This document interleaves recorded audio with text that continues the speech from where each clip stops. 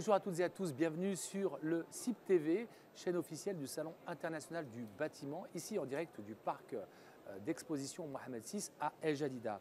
Sur ce plateau, j'ai le plaisir de recevoir Madame Bouchral Mounden, directrice générale de El Omran Casablanca Stat. Bonjour. Bonjour. Alors bien sûr, vous êtes euh, euh, parmi les partenaires clés et stratégiques de l'organisation du CIB, hein, Salon international du bâtiment. Euh, parce que vous êtes l'opérateur public hein, du ministère de l'aménagement du territoire national, de l'habitat, de l'urbanisme de la politique de la ville. Alors parlez-nous un peu de, du rôle d'Al Omran euh, au, sein de, au sein du Salon international du bâtiment. Très bien. Bonjour, merci beaucoup. D'abord, euh, je suis très heureuse d'être parmi vous au salon. C'est vrai que cette fois-ci, comme c'est la région Kazakhstan qui est concernée, donc on a dû être sur le salon à plusieurs reprises. À l'inauguration, en présence de Madame la ministre et des différents invités et délégations, notamment le ministre du Gabon. Mhm. Euh, on a aussi l'animation de toute la partie euh, stand euh, qui concerne le, ministère et qui concerne principalement le groupe Amran avec ses différentes composantes. Et bien sûr, tout l'écosystème que nous visitons, les réunions, les panels scientifiques qu'il fallait animer. Très heureuse aussi que ceci se tienne Bien sûr. Euh, Après quatre ans d'absence. Voilà, on a passé quand même une période difficile et, je vois la dynamique, je pense que vous l'avez aussi constaté, c'est une dynamique qui est magnifique. Tout le monde est là, tout le monde voudrait faire ce qu'il y a de mieux, donc on, a de très très beaux stands. Et qui plus est, le, savoir-faire marocain aussi qui revient et qui est aujourd'hui de plus en plus visible hein, sur la scène internationale. Clairement. Et cette participation en force, malgré la conjoncture du mondial, prouve euh, l'intérêt qu'il y a pour le CIB et l'apport qu'il peut avoir justement sur, euh, sur le, le, secteur dans sa globalité parce que la conjoncture est aussi difficile et donc il y a besoin d'innover, mm. d'apporter de nouvelles solutions.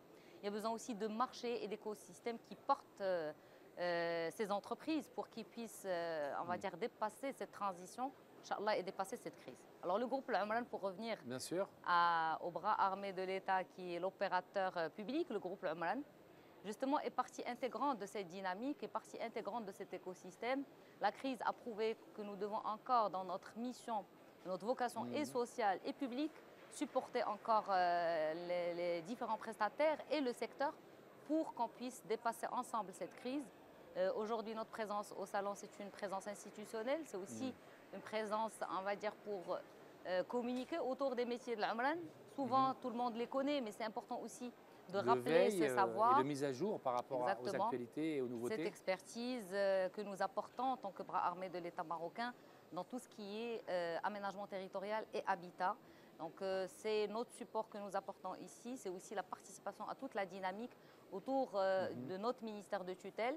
et ça nous permet de découvrir encore d'autres entreprises, de pouvoir lier d'autres partenariats et de supporter la suite et voir quel est l'impact que nous pouvons ensemble construire pour faire de ces événements une vraie réussite et qui mhm. permet par la suite d'apporter euh, des partenariats importants, que ce soit à l'échelle nationale, que ce soit aussi à l'échelle euh, africaine et internationale. Tout à fait. Et d'ailleurs, dans cette logique, vous avez initié, donc faites partie intégrante de cette thématique qui a été euh, choisie, l'innovation et la résilience au cœur, au service d'un cadre de vie meilleur.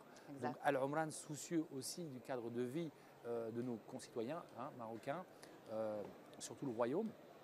Que pensez-vous du choix de cette thématique, particulièrement là, à cette, euh, à cette, cette époque, hein, après avoir vécu, euh, enfin, traversé cette période du Covid? Vous savez, si euh, le groupe Lamran a une conviction que nous portons réellement et en force, c'est bien cette vocation sociale. Nous mm. sommes une entreprise publique à vocation sociale. Notre mm. impact est important sur les territoires. Nous agissons, nous interagissons mm. avec les territoires. Vous savez que nous portons à 80% des programmes publics mhm. qui sont l'habitat social, l'habitat 140 000, les villes sans bidonville, les réhabilitations urbaines. Ce ne sont que des programmes sociaux destinés aux 80% du citoyen marocain que nous sommes. Donc mhm. nous sommes fiers de cette mission. Nous la portons à travers toutes les actions de la mais pas seulement. Nous sommes aussi certifiés RSE. Donc, mm. nous portons les engagements de la responsabilité sociétale des entreprises. Mm-hmm. Euh, nous sommes sur des aspects de développement durable, d'innovation, de résilience. Donc, c'est l'une des missions, à mon sens, principales qui euh, nous motive tous les jours pour exercer justement notre euh, rôle et notre fonction et aider à ce que les territoires se développent. Nous avons deux clients, nous le disons tout le temps, un client institutionnel et surtout un client citoyen qui a besoin que l'État continue mm. à le supporter pour justement que ces dynamiques, aujourd'hui on parle de l'État social, Mhm. euh, et pour que ces dynamiques se, se placent en- au premier rang des euh, euh, priorités, on va dire, de l'action publique à travers les différents euh, démembrements de l'État, notamment les entreprises publiques. Alors, Madame Almouden, aussi, votre visite aussi a beaucoup de sens parce que vous êtes intervenu dans un espace qui a été initié au sein du CIB, le CIB Women's.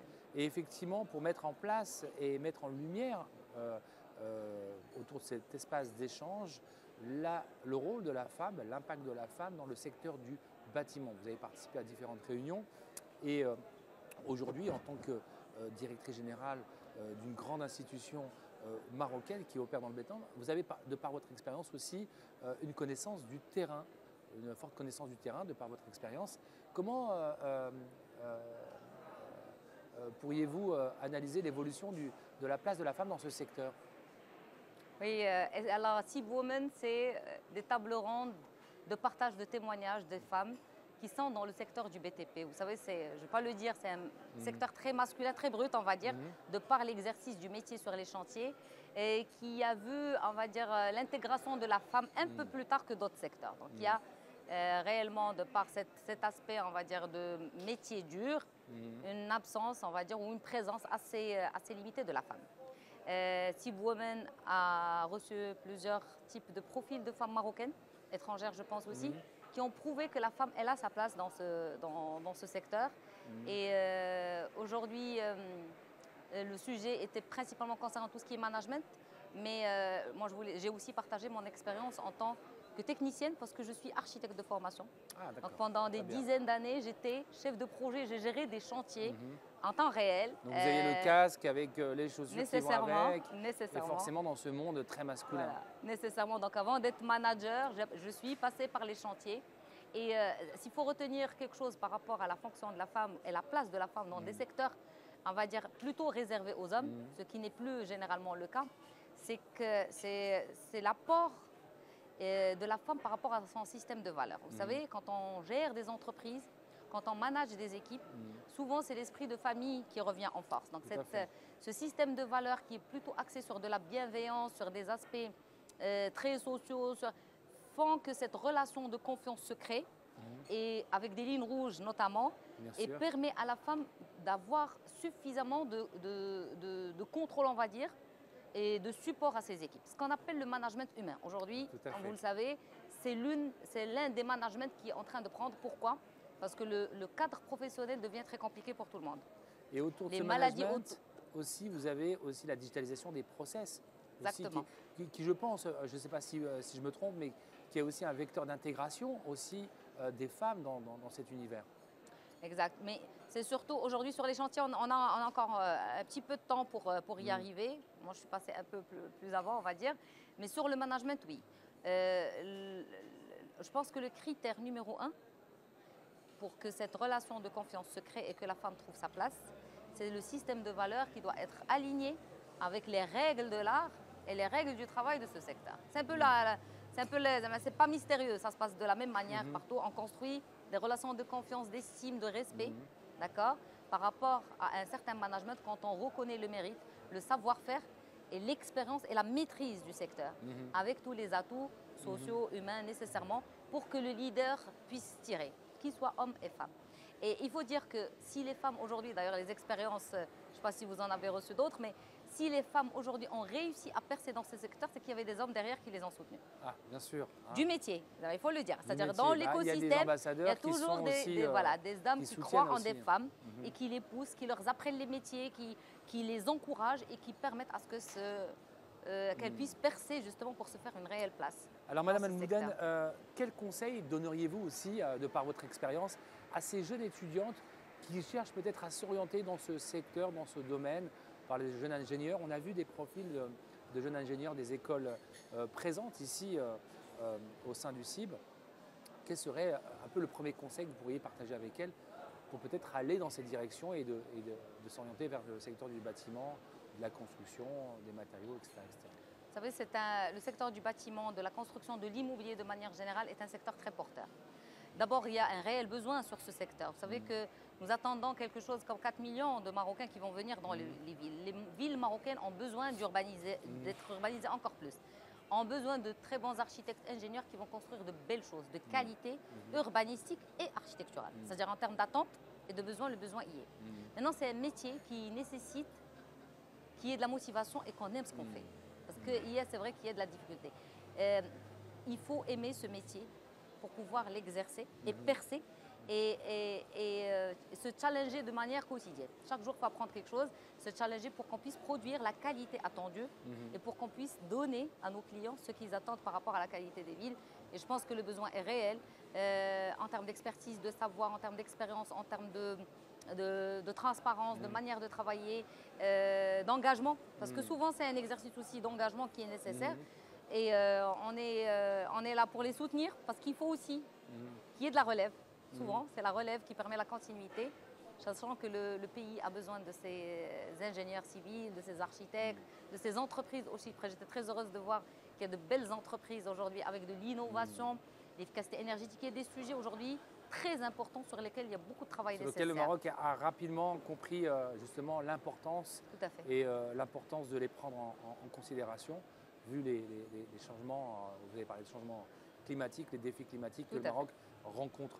En tout cas, merci beaucoup Madame El Mouden, euh, justement directrice générale de Casablanca Stade, d'avoir fait le déplacement pour venir euh, justement apprécier euh, cette organisation, ce retour du CIB, Salon international du bâtiment. Merci et comme expliqué justement durant cet entretien, vous allez avoir le plaisir de découvrir sur l'ensemble de nos interviews bah, des success stories, des projets initiés, des femmes chefs d'entreprise qui sont dans le secteur du bâtiment. Donc vraiment, on peut constater, comme euh, vous le dites si bien, que le- la place de la femme euh, euh, aujourd'hui est là dans ce secteur. Merci beaucoup, Merci. merci à vous et très bon salon à tous. Merci à vous. Merci.